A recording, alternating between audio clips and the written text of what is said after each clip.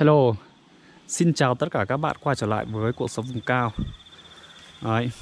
Hôm nay là ngày 14 tháng 5 năm 2020 Vậy là sau à, một thời gian rất là dài, rất là lâu Cũng khoảng à, hơn nửa năm rồi tôi không làm clip. Tại vì là có rất là nhiều là cái lý do để tôi à, dừng lại.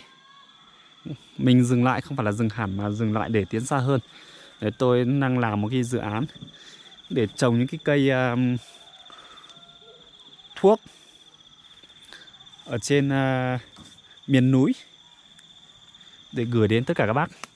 Thì hôm nay tôi làm clip này muốn giới thiệu đến tất cả các bạn à, một cái uh, loại cây một cái vị à, vị thuốc trong cái bài thuốc chữa dạ dày và được rất là nhiều anh em à, bình luận ở dưới những cái video ngày trước mà tôi đăng.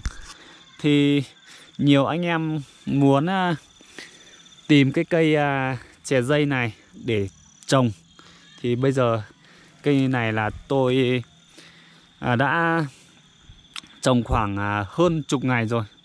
Đấy, đây là toàn bộ hơn 200 gốc chè dây tôi trực tiếp lên rừng nhổ cây non về trồng. Đấy thì bây giờ tôi sẽ chọn cái cây mà đẹp nhất. Chính là cây này này. Đấy đây là một trong những cây à, đẹp nhất tôi muốn à, cho các bác xem. Đồng thời là giới thiệu cái cây chè dây này cho các bác. À, những bác nào biết rồi thì à, thôi hoặc là muốn tìm hiểu thêm thì các bác cứ xem. Còn những bác nào mà chưa biết đến cây chè dây à, lá nó như nào Đấy, tác dụng nó như ra làm sao thì các bác vui lòng xem cái clip này.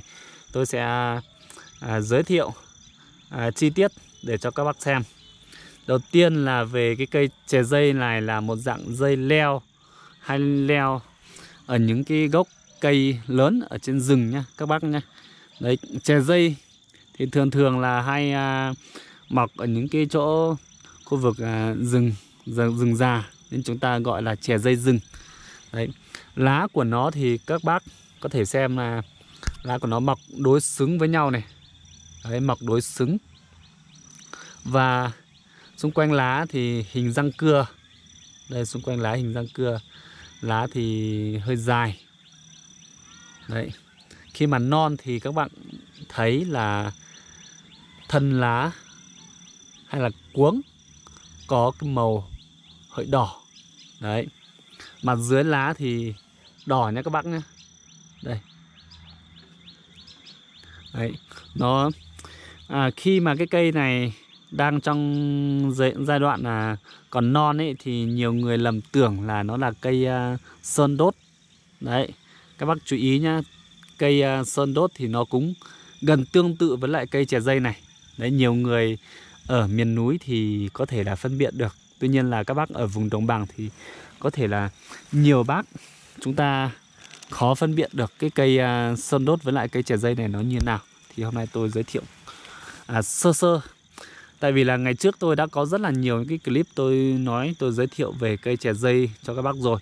Tuy nhiên là hôm nay sau à, hơn à, nửa năm tôi quay trở lại thì tôi giới thiệu tiếp cây à, chè dây này cho các bác xem. À, về cái à, tác dụng của cây chè dây này thì nhiều bác cũng đã biết rồi. Đấy, chè dây thì có nhiều công dụng nhưng tác dụng chính của cái vị thuốc này là là hiệu quả tiêu viêm giải độc Đấy, sử dụng hiệu quả nhất trong điều trị cái chứng là viêm loét dạ dày này đầy hơi này ăn uống khó tiêu này trào ngược dạ dày này. Đấy.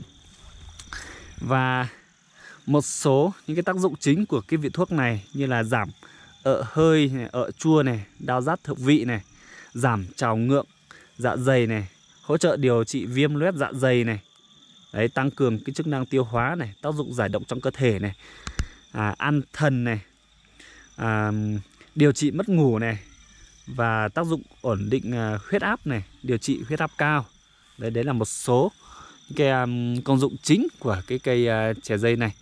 Đồng thời là những cái đối tượng mà sử dụng cái cây chè dây này như là những cái trường hợp mà bị viêm loét dạ dày tá tràng này người bị trào ngược dạ dày viêm dạ dày do nhiễm khuẩn HP này Đấy, người làm việc trí óc nhiều này dẫn đến căng thẳng đầu óc thì sử dụng cây chè dây này rất là tốt này.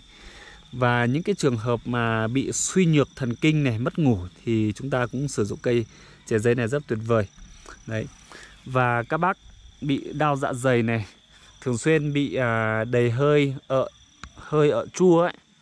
Đấy thì các bác cũng có thể dùng cây này nó rất là tốt nhá à, một cái nữa là những trường hợp mà bị huyết áp cao ấy thì chúng ta có thể sử dụng cây này nó cũng rất là tốt. À, đồng thời đi bên cạnh đấy là những cái trường hợp mà bị à, mụn nhọn ấy viêm răng lợi thì các bác cũng có thể dùng cái cây à, chè dây này để mà pha hãm để uống hoặc là xúc miệng. Đấy thì đối với cái cách à, cách dùng ấy thường thường là anh em hay à, phơi khô. Tuy nhiên là có à, các cách như sau. Cái thứ nhất là các bác có thể là hái cái lá non này đồng thời hái cả cành non về các bác về đem về rửa thật sạch. Xong là các bác à, hãm luôn nhưng mà cái cách đấy thì nó ít phổ biến. À, cái thứ hai phổ biến nhất là các bác à, khi mà hái về ấy, thì rửa sạch xong đi sao sao qua rồi các bác ủ ủ một đêm để cho cái à, chất nhựa màu trắng của nó nó ra. Xong đấy thì các bác à, đem đi phơi. Đấy phơi khô rồi thì bảo quản để mà các bác dùng dần. Đấy.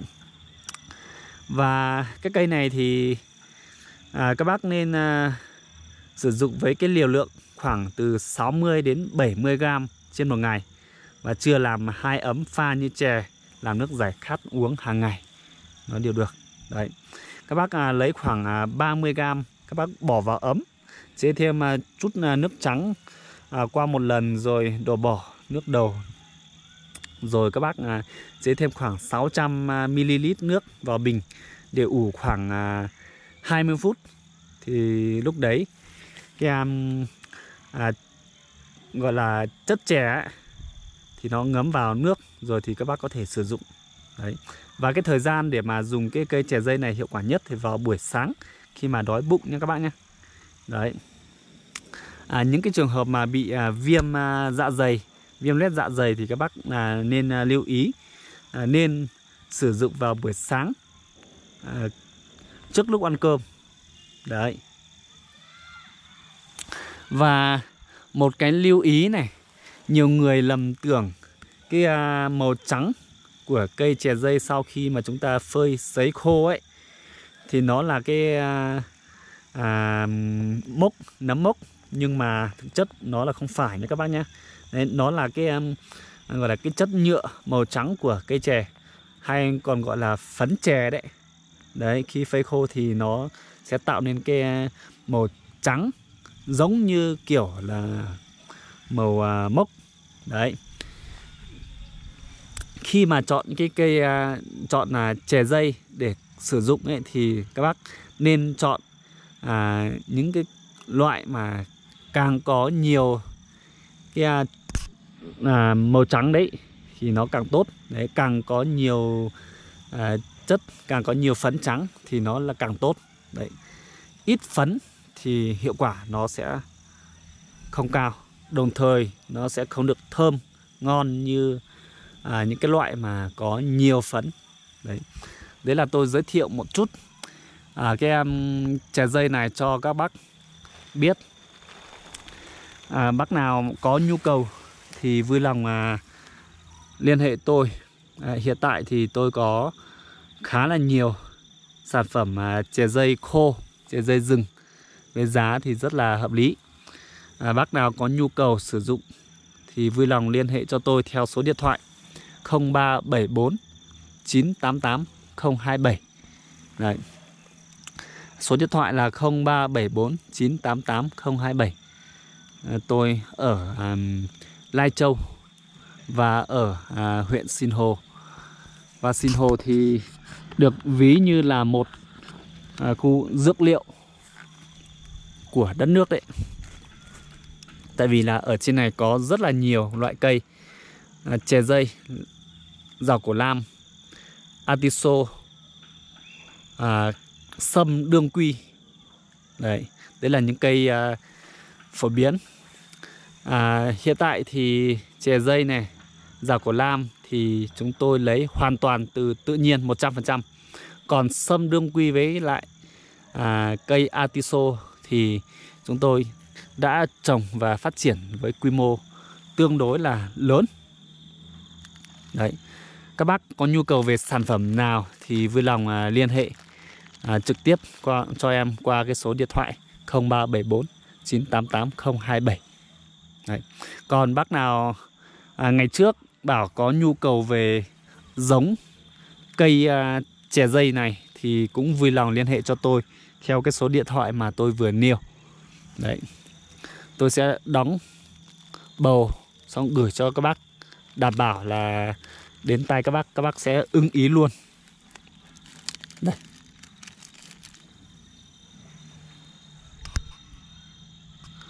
Rồi trên đây là một số những cái tác dụng cũng như là công dụng cách dùng về cây chè dây này tôi muốn gửi đến tất cả mọi người. À, hy vọng nó sẽ giúp ích cho tất cả các bác nếu các bác thấy cái clip này hay ý nghĩa thì đừng quên để lại cho tôi một like và chia sẻ cho nhiều người cùng xem. Và một cái nữa mong các bác thông cảm là trong quá trình thuyết trình thì tôi có thể vướng phải một số những cái à, lỗi sai sót hay là lạm đi lặp lại?